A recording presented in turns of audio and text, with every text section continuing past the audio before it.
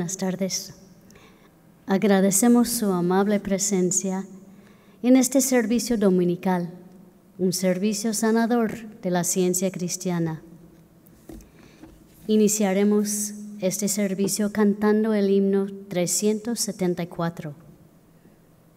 A ti te doy hoy gracias, oh Padre nuestro y Dios aun antes de pedirte, ya oyes nuestra voz. Que tu bondad yo alabe, tu eterno y dulce amor. Doy gracias, Padre Madre, que oíste mi, mi oración. Himno 374, Hymn 374.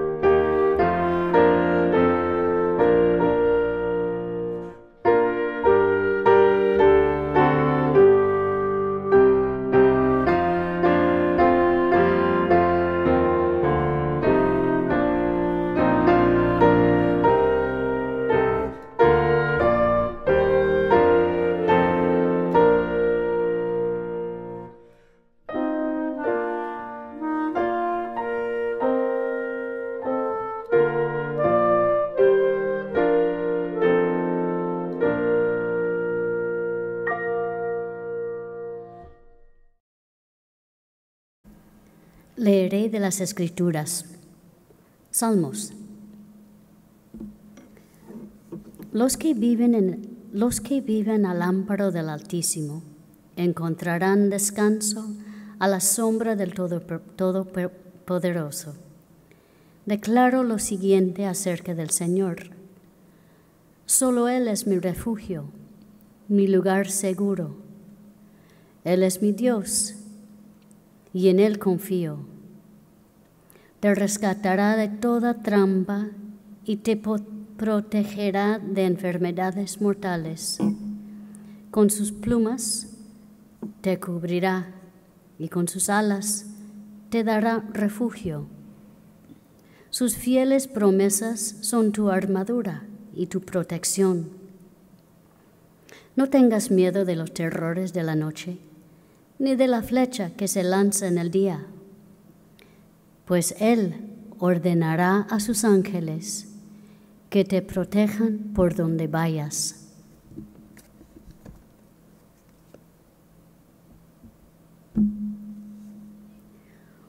Oremos por esta congregación, primero en silencio, Después diremos juntos el Padre nuestro.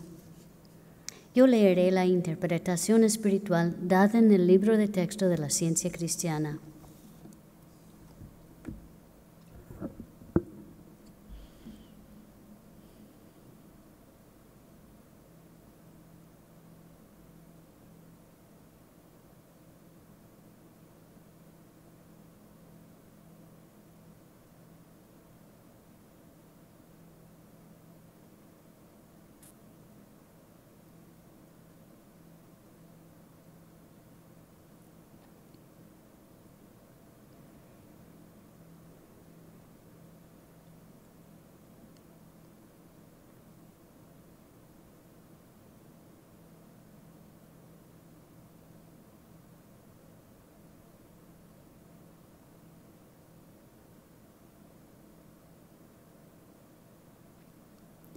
Padre nuestro que estás en los cielos. Nuestro Padre, Madre, Dios, todo armonioso. Santificado sea tu nombre. Único adorable. Venga tu reino. Tu reino ha venido. Tú estás siempre presente. Hágase tu voluntad como en el cielo, así también en la tierra. Capacítanos para saber que como en el cielo, así también en la tierra, Dios es omnipotente, supremo. El pan nuestro de cada día, dánoslo hoy. Danos gracia para hoy. Alimenta los afectos hambrientos. Y perdónanos nuestras deudas, como también nosotros perdonamos a nuestros deudores. Y el amor es reflejado en el amor y no nos metas en tentación, mas líbranos del mal. Y Dios no nos mete en tentación, sino que nos libra del pecado, la enfermedad y la muerte.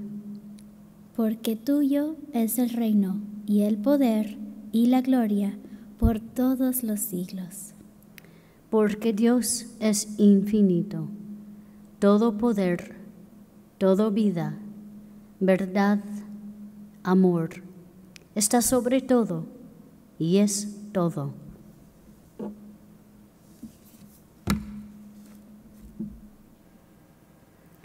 Cantemos el himno número 273. La esperanza vuestra es, corazones, hoy cantad. La batalla ganaréis con valor y santidad.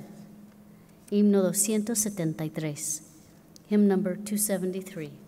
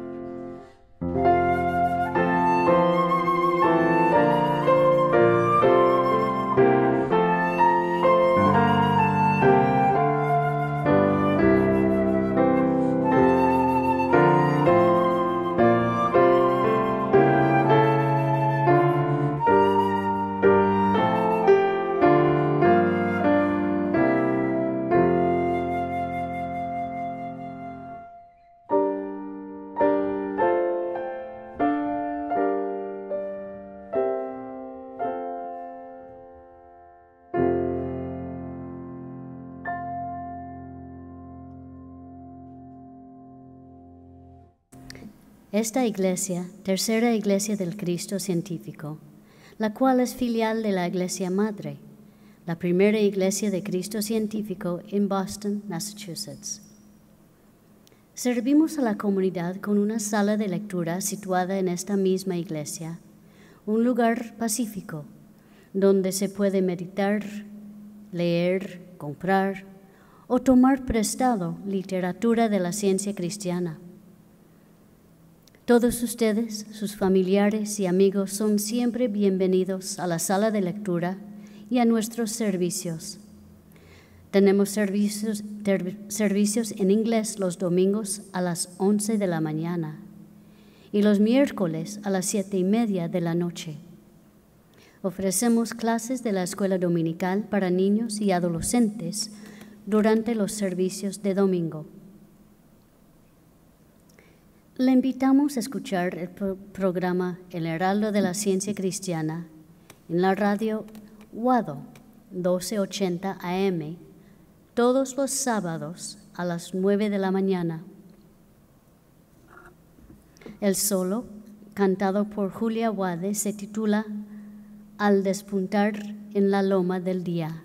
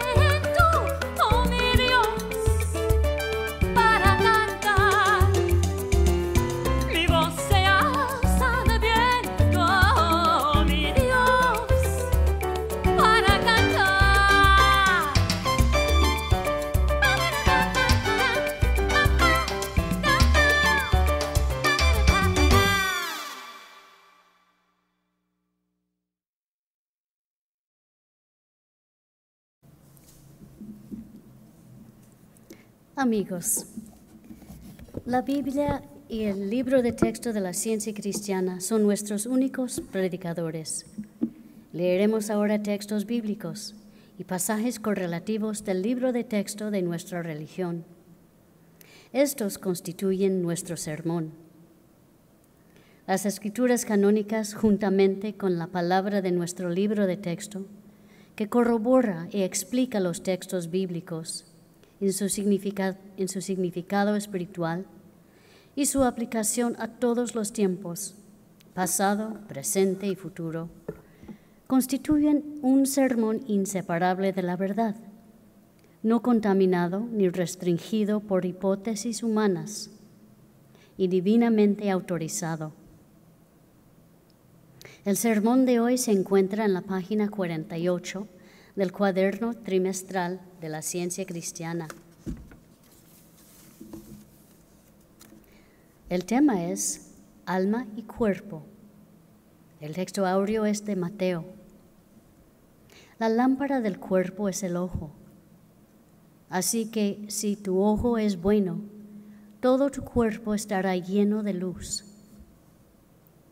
La lectura alternada es de Primera de Tesalonicenses. Todos vosotros sois hijos de luz e hijos del día. No somos de la noche, ni de las tinieblas.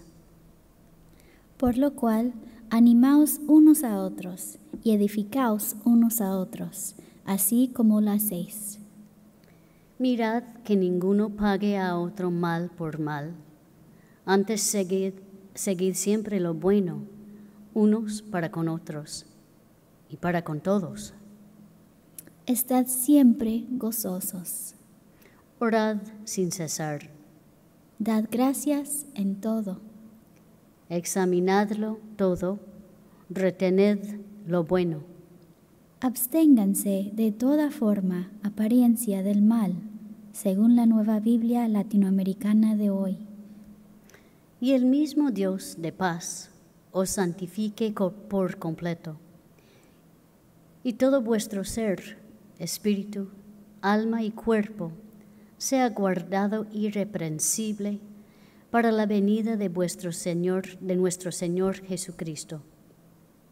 Fiel es el que os llama, el cual también lo hará. La gracia de nuestro Señor Jesucristo sea con vosotros. Leeré de la Biblia. Salmos. Señor, tú nos has sido refugio de generación en generación. Aparezca en tus siervos tu obra y tu gloria sobre sus hijos. Sea la luz de Jehová, nuestro Dios, sobre nosotros. Job. Si Él determina una cosa, ¿quién lo hará cambiar? Su alma deseó e hizo. Isaías, vosotros sois mis testigos, dice Jehová, y mi siervo que yo escogí, para que me conozcáis y creáis y entendáis que yo mismo soy. Antes de mí no fue formado Dios, ni lo será después de mí. Este pueblo he creado para mí, mis alabanzas publicará. Levántate, resplandece, porque ha venido tu luz, la gloria de Jehová ha nacido sobre ti. Alza tus ojos alrededor y mira. El sol nunca más te servirá la luz de luz para el día, ni el resplandor de la luna te alumbrará, sino que Jehová te será por luz perpetua y el Dios tuyo por tu gloria. Lucas Engrandece mi alma al Señor, y mi espíritu se regocija en Dios, mi Salvador. Como se anunció en la nota explicativa, ahora leeré pasajes correlativos del libro de texto de la ciencia cristiana, Ciencia y Salud, con la llave de las Escrituras, por Mary Baker Eddy. El alma o el espíritu es Dios inmutable y eterna. Y el hombre coexiste, con el alma, Dios, y la refleja, porque el hombre es la imagen de Dios. La ciencia cristiana explica toda causa y todo efecto como mentales, no físicos. Levanta del alma y del cuerpo el velo del misterio muestra la relación científica del hombre con Dios desenreda las ambigüedades entrelazadas del ser y libera el pensamiento aprisionado. Tal como la astronomía revierte la percepción humana del movimiento del sistema solar, así la ciencia cristiana revierte la aparente relación entre el alma y el cuerpo y hace el cuerpo tributario de la mente. Así es con el hombre, que no es sino el servidor humilde de la mente en reposo, aunque el sentido finito le parezca de otra manera. Pero jamás comprenderemos esto mientras admitamos que el alma está en el cuerpo o la mente está en la materia y que el hombre está incluido en lo carente de inteligencia. El hombre no es una morada material para el alma, es espiritual el mismo. El alma, al ser espíritu, no se ve en nada que sea imperfecto ni material. La identidad es el reflejo del espíritu, el reflejo en formas múltiples y variadas del principio viviente, el amor. El alma es la substancia la vida y la inteligencia del hombre, que está individualizada, pero no en la materia. El alma jamás puede reflejar nada inferior al espíritu. El hombre es la expresión del alma.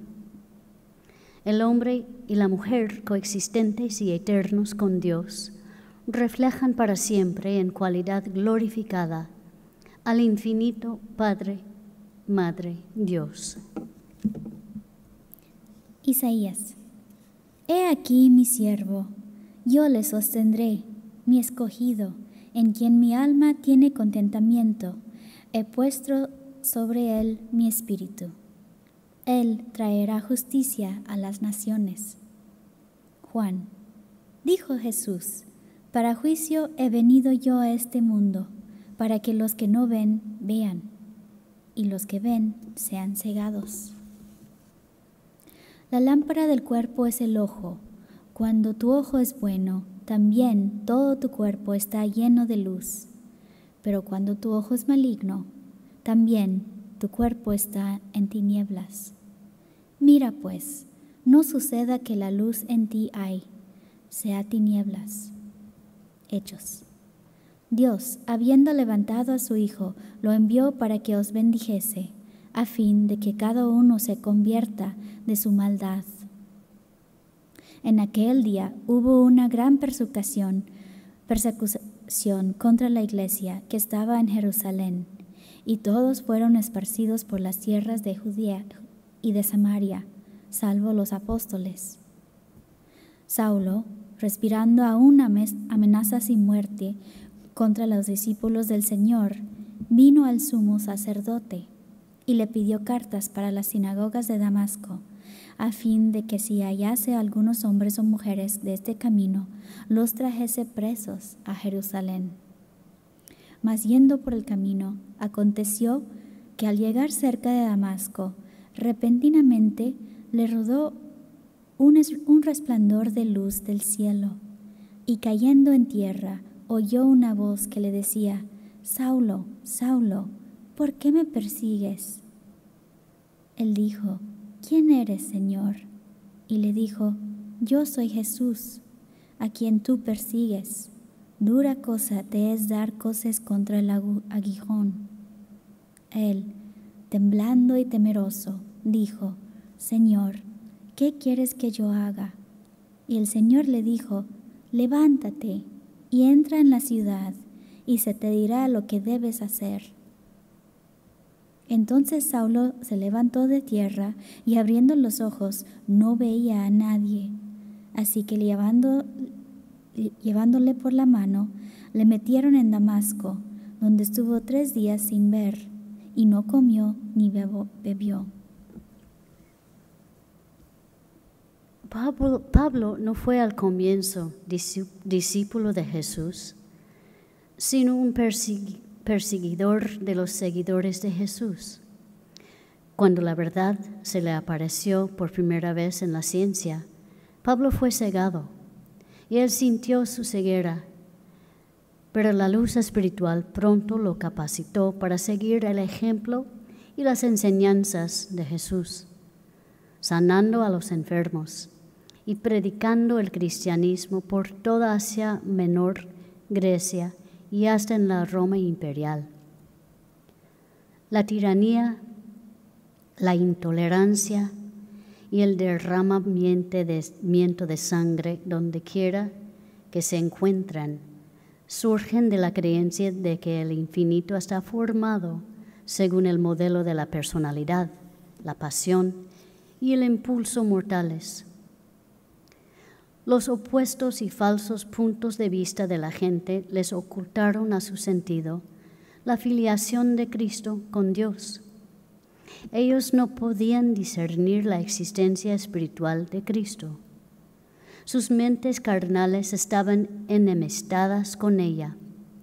Sus pensamientos estaban repletos de error mortal en lugar de la idea espiritual de Dios como fue presentada por Cristo Jesús. Debido a la ignorancia humana acerca del principio divino, el amor, el Padre de todos, es representado como un creador corpóreo.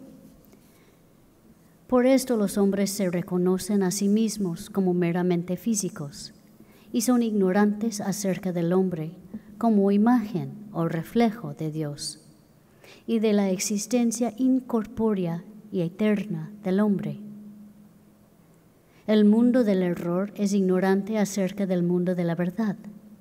Está ciego a la realidad de la existencia del hombre, porque el mundo de lo sensorio no tiene conocimiento de que la vida está en el alma, no en el cuerpo.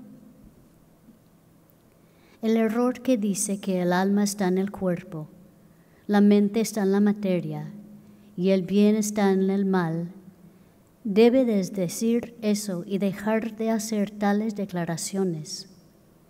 De lo contrario, Dios continuará estando oculto para la humanidad y los mortales pecarán sin saber que están pecando.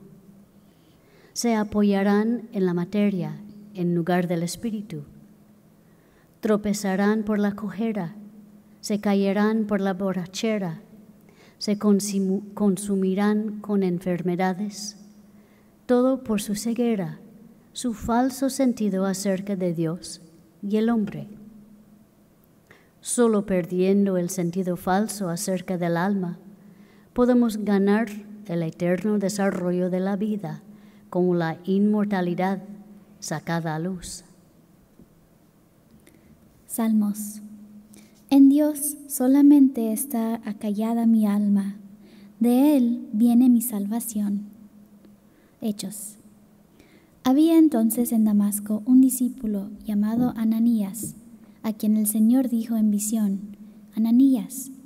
Y él respondió, heme aquí, Señor. Y el Señor le dijo, levántate y ve a la calle que se llama derecha, y busca en casa de Judas a uno llamado Saulo de Tarso, porque he aquí él ora, y ha visto en visión a un varón llamado Ananías, que entra y le pone las manos encima para que recobre la vista. Entonces Ananías respondió, Señor, he oído de muchos acerca de este hombre, cuántos males ha hecho a tus santos en Jerusalén. El Señor le dijo, Ve, porque instrumento escogido me es este para llevar mi nombre en presencia de los gentiles y de reyes y de los hijos de Israel. Fue entonces Ananías y entró en la casa y poniendo sobre él las manos dijo, Hermano Saulo, el Señor Jesús, que se te apareció en el camino por donde venías, me ha enviado para que recibas la vista y seas lleno del Espíritu Santo y al momento le cayeron de los ojos como escamas, y recibió al instante la vista, y levantándose fue bautizado. Enseguida predicaba a Cristo en las sinagogas, diciendo que éste era el Hijo de Dios. Romanos, no os conforméis a este siglo, sino transformaos por medio de la renovación de vuestro entendimiento, para que comprobéis cuál sea la buena voluntad de Dios, agradable y perfecta. Primera de Corintios. Porque habéis sido comprados por precio. Glorificad pues a Dios en vuestro cuerpo y en vuestro espíritu, los cuales son de Dios. La Biblia enseña la transformación del cuerpo mediante la renovación que hace el espíritu. No parcialmente, sino íntegramente, el gran sanador de la mente mortal es el sanador del cuerpo. Saulo de Tarso contempló el camino, el Cristo o la verdad, solo cuando su sentido incierto de lo justo se dio ante un sentido espiritual que es siempre justo. Entonces el hombre fue cambiado. El pensamiento adoptó un punto de vista más noble y su vida se volvió más espiritual. Él se dio cuenta del mal que había hecho en perseguir a los cristianos, cuya religión no había comprendido, y en humildad tomó el nuevo nombre de Pablo contempló por primera vez la idea verdadera del amor y aprendió una lección en la ciencia divina. La ciencia del ser revela al hombre como perfecto, así como el Padre es perfecto, porque el alma o la mente del hombre espiritual es Dios, el principio divino de todo ser, y porque este hombre verdadero es gobernado por el amor en vez del sentido, por la ley del espíritu, no por las así llamadas, llamadas leyes de la materia. Un cuerpo material solo expresa una mente material y mortal. Un hombre mortal posee este cuerpo y lo hace armonioso o discordante de acuerdo con las imágenes de pensamiento grabadas en él abrazas tu cuerpo en tu pensamiento y debieras delinear en él pensamientos de salud, no de enfermedad. Debieras expulsar todos los pensamientos de enfermedad y pecado y de otras creencias incluidas en la materia. No podemos negar que la vida se sostiene a sí misma y nunca debiéramos negar la eterna armonía del alma simplemente porque para los sentidos mortales hay aparente discordancia. En nuestra ignorancia de Dios, el principio divino, lo que produce la aparente discordancia y el entendimiento correcto de Él restaura la armonía. La verdad a la larga nos obligará a todos a cambiar los placeres y dolores de los sentidos por los goces del alma. Primera de Corintios.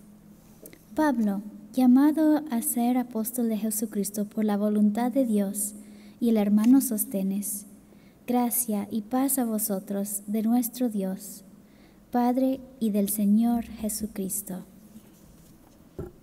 ¿Ignoráis que vuestro cuerpo es templo del Espíritu Santo? El cual está en vosotros, el cual tenéis de Dios, y que no sois vuestros? Romanos. No reine, pues, el pecado en vuestro cuerpo mortal, de modo que lo obedezcáis en sus concupiscencias, ni tampoco presentáis vuestros miembros al pecado como instrumentos de la iniquidad, sino presentaos vosotros mismos a Dios como vivos, de entre los muertos, y vuestros miembros a Dios como instrumentos de justicia. Porque el pecado no se enseñoreará de vosotros. Gálatas. Digo pues, andad en el Espíritu y no satisfagáis los deseos de la carne. Si vivimos por el Espíritu, andemos también por el Espíritu. El cuerpo no es lo primero y el alma lo último, ni es el mal más poderoso que el bien. Pablo tenía un sentido claro de las exigencias físicas y espirituales de la verdad sobre los mortales, cuando dijo, Os ruego que presentáis vuestros cuerpos en sacrificio vivo, santo, agradable a Dios, que es vuestro culto racional. Pero el que es engendrado por las creencias de la carne y la sirve, jamás puede alcanzar en este mundo las alturas divinas de nuestro ser. Un pensamiento sensual, cual átomo de polvo lanzado en la cara de la inmensidad espiritual, es densa ceguedad en lugar de una conciencia científica eterna de la creación. El egoísmo y el sensualismo son educados en la mente mortal por los pensamientos que se vuelven de continuo hacia uno mismo, por las conversaciones acerca del cuerpo, por la expectativa de obtener de él perpetuo placer o dolor y esta educación es a expensas del crecimiento espiritual. Si ataviamos el pensamiento con vestidos mortales, tiene que perder su naturaleza inmortal. Necesitamos un cuerpo limpio y una mente limpia, un cuerpo purificado por la mente, así como también lavado con agua. Uno dice, cuido bien mi cuerpo. Para hacer esto se requiere la influencia pura y exaltadora de la mente divina sobre el cuerpo. Y el científico cristiano cuida mejor su cuerpo cuanto más lo deja fuera de su pensamiento. Y como el apóstol Pablo está deseoso más bien de estar ausente del cuerpo y presente al Señor Pablo dijo, el ocuparse del espíritu es vida. Todo lo que guía espiritualmente el pensamiento beneficia la mente y el cuerpo. Salmos. A ti, oh Jehová, levantaré mi alma. Mis ojos están siempre hacia Jehová, porque Él sacará mis pies de la red. Hechos y cierto hombre de Listra estaba sentado, imposibilitado de los pies, cojo de nacimiento, que jamás había andado. Este oyó hablar a Pablo, el cual fijando en él, en él sus ojos, y viendo que tenía fe para ser sanado, dijo a gran voz, levántate derecho sobre tus pies. Y él saltó y anduvo. Pablo dijo, Andad en el Espíritu y no satisfagáis los deseos de la carne. Tarde o temprano aprenderemos que las cadenas de la capacidad finita del hombre son forjadas por la ilusión de que él vive en el cuerpo, no en el alma, en la materia, no en el espíritu. Comprender que la mente es infinita, no es limitada por la corporalidad, no dependiente del oído y del ojo para oír o ver, ni de los, de los músculos y de los huesos para la locomoción. Es un paso hacia la ciencia mente, por medio de la cual discernimos la naturaleza y la existencia del hombre. Todo lo que sabemos correctamente del espíritu viene de Dios, el principio divino, y se aprende mediante el Cristo y la ciencia cristiana. La ciencia cristiana trae al cuerpo la luz solar de la verdad, que vigoriza y purifica. La ciencia cristiana obra como un alterante, neutralizando el error con la verdad. Cambia las secreciones, expulsa los humores disuelve los tumores, relaja los músculos rígidos y restaura la salud a los huesos cariados. El efecto de esta ciencia es estimular la mente humana hacia un cambio de base, sobre la cual puede ceder a la armonía de la mente divina. Mantén claramente en el pensamiento que el hombre es vástago de Dios, no del hombre, y que el hombre es espiritual, no material, que el alma es el espíritu, fuera de la materia, nunca en ella nunca dando al cuerpo vida y sensación. Se rompe el sueño de enfermedad al comprender que la enfermedad es formada por la mente humana, no por la, no por la materia ni por la mente divina. La conciencia construye un cuerpo mejor cuando la fe en la materia ha sido conquistada. Corrige la creencia material mediante la comprensión espiritual y el espíritu te formará de nuevo. Primera de Corintios. Yo, Pablo, os escribo esta salutación de mi propia mano. Mi amor en Cristo Jesús esté con todos vosotros. Segunda de Corintios.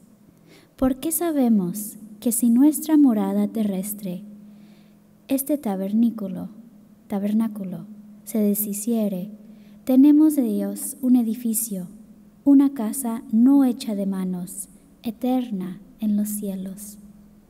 Así que vivimos confiados siempre y sabiendo que entre tanto que estamos en el cuerpo, estamos ausentes del Señor, pero confiamos y más quisiéramos estar ausentes del cuerpo y presentes al Señor. Cuando dices, el cuerpo del hombre es material, yo digo con Pablo, desea más bien estar ausente del cuerpo y presente al Señor. Estar presentes con el Señor es tener no meros éxtasis emotivo o fe, sino la real demostración y comprensión de la vida como son reveladas en la ciencia cristiana. Estar con el Señor es obedecer la ley de Dios, estar gobernados absolutamente por el amor divino, por el Espíritu, no por la materia. Toma conciencia por un solo momento de que la vida y la inteligencia son puramente espirituales. Ni están en la materia, ni son de ella. Y el cuerpo entonces no proferirá ninguna queja. Si estás sufriendo por una creencia en la enfermedad, repentinamente te encontrarás bien. El hombre es armonioso cuando es gobernado por el alma.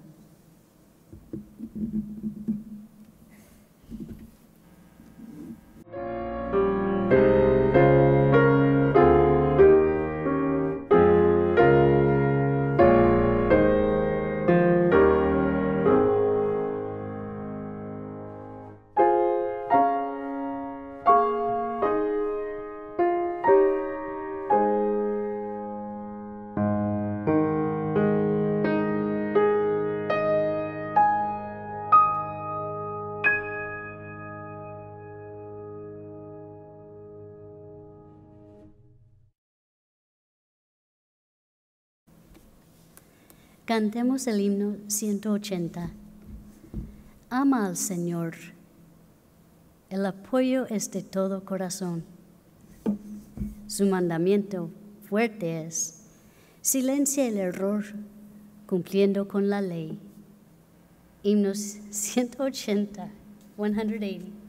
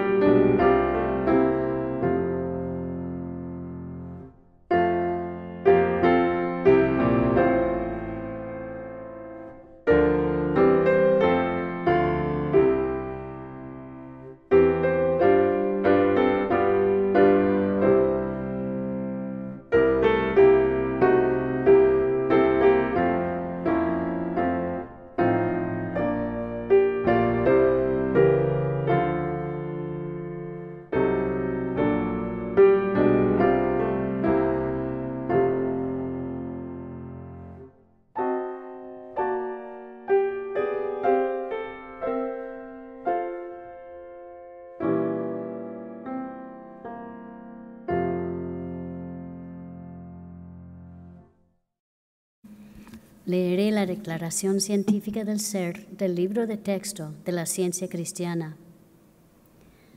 No hay vida, verdad, inteligencia ni sustancia en la materia. Todo es la mente infinita y su manifestación infinita, pues Dios es todo en todo. El espíritu es la verdad inmortal. La materia es el error mortal. El espíritu es lo real y eterno. La materia es lo irreal y temporal. El espíritu es Dios. Y el hombre es su imagen y semejanza. Por lo tanto, el hombre no es material. Él es espiritual y la escritura correlativa. Mirad cuál amor nos ha dado el Padre, para que seamos llamados hijos de Dios. Por esto el mundo no nos conoce, porque no le conoció a Él. Amados, ahora somos hijos de Dios, y aún no se ha manifestado lo que hemos de ser pero sabemos que cuando Él se manifieste, seremos semejantes a Él, porque le veremos tal como Él es. Y todo aquel que tiene esta esperanza en Él se purifica a sí mismo, así como Él es puro. Busquen al Señor su Dios con todo el corazón y con toda el alma. Amén.